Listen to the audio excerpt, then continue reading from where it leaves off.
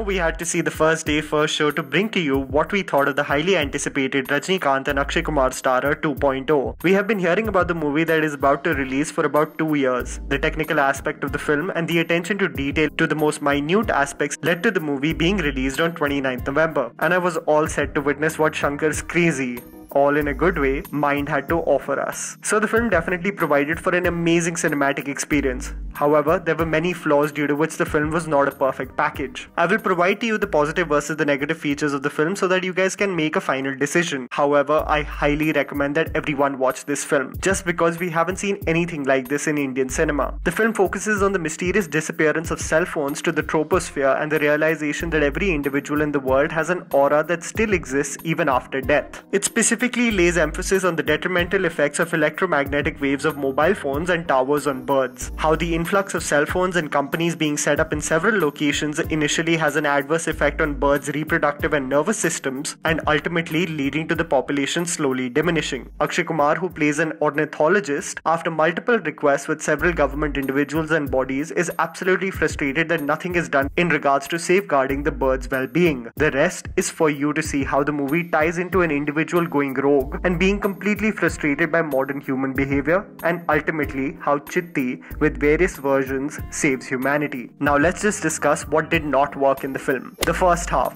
The development of the script definitely needed more work. We get into the nitty gritty of the story only in the second half. The audience is actually truly engaged in the story when we get to know the backstory of Akshay Kumar. In the first half, we only know that there is a mysterious force taking over the state of Tamil Nadu and also stealing away cell phones. There is no development of why exactly this is happening or the motivation behind it, not even a hint of it. We are subjected to cryptic photon and positive and negative energy talk without any information actually being given. Unnecessary slapstick comedy scenes. The entire film is filled with filler scenes with extras and the supporting cast that are totally not needed. The actors doing physical comedy to try to get some laughs from the audience seems desperate and did not contribute to the development of anything in the script. There are moments where a menacing villain is wreaking violence and then suddenly these irrelevant characters are borrowing jokes that don't land. The reason for films like Interstellar or Inception to work is that they develop the story with the same intensity and layers on a constant, rather than sidetracking with moments that don't do anything to the story. Illogical moments. There are many moments in the film where your pragmatic mind will come into play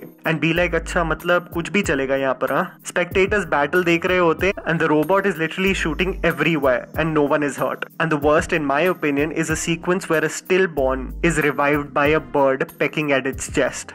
the rest I'll make you judge on your own so that I don't give away everything also. The brief appearance of Akshay Kumar. Akshay Kumar steals the show in the second half. His menacing laugh, his determination to make humans realize their destructive way of living, his back and forth between Rajnikanth. Oh, he's so good to watch on the big screen. We only, however, get to see him in the second half. The reason why the Joker from The Dark Knight was so impactful was that he created the eerie atmosphere of absolute madness from the very beginning. Audiences knew you were always in for a ride when he came on the screen. We wish wished we just saw more of the character through its running minutes. And here's what worked in the film the mind of Shankar. Shankar, in my opinion, especially after this film, is a visionary in every aspect. The man has brought us an aspect of human behavior that we are all aware of, but as it is second nature for us, we hardly focus on it. Imagine brainstorming the idea that an abundance of cell phones will create horror in a state. It sounds absolutely bizarre, but Shankar makes it work. The man showcases such jaw dropping visuals that if you will see it in the theater, you will be truly blown away. You wouldn't have seen such overwhelming visuals in Indian cinema of a creature creating menace through the city, Pacific Rim like robots fighting with with each other, or just an illumination of phone screens chasing a man. It really makes you appreciate the mind and thought process of the director to make these crazy visuals come to life.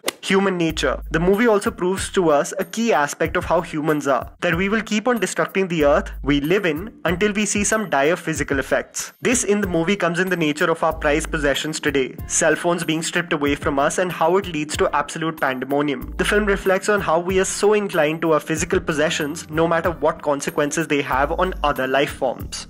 Visual effects and action sequences. This without a doubt shows you the, some of the best special effects and action sequences seen in Indian cinema. The film in specific moments truly does show to you that Indian cinema can pull off a big scale international quality sci-fi film. Two sequences that come to my mind as I saw the film that truly blew me away was when Pakshi Raja played by Akshay Kumar fights Chitti and transforms back and forth into Vasikaran, leading Chitti to be in a dilemma and the spectacular spectacular climactic fight between the hero and the villain, which will truly keep you captivated. Props to the technical team for such attention to detail and impeccable quality.